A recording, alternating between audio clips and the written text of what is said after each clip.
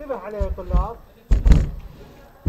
هذا نموذج ثاني يراويك ال anterior abdominal wall لاحظ انه هاي rectus abdominis وهاي tendinous intersection وهاي linea alba وهاي linea sibilunaris هذه aponeurosis of the external oblique.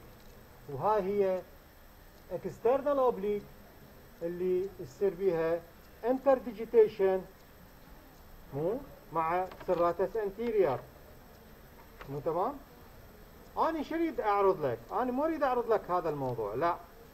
راح اقلب هاي ال anterior abdominal wall من الخلف أشوف ال inside of the anterior abdominal wall طبعا هذا إيش طالع بيه طالع بيه هاي transversus abdominis وهاي ال aponeurosis مالته. بس أنا شو مسوي؟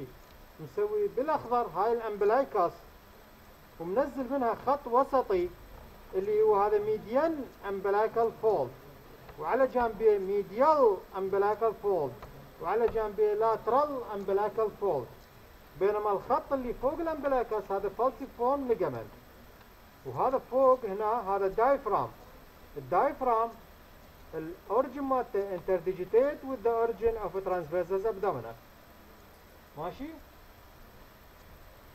ف